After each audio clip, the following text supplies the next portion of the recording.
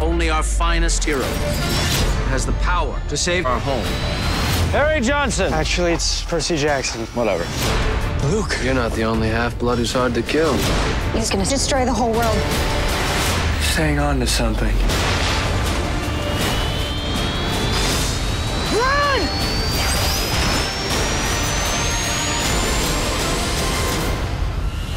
Percy Jackson, Sea of Monsters in Real D 3D and Digital 3D. Rated PG.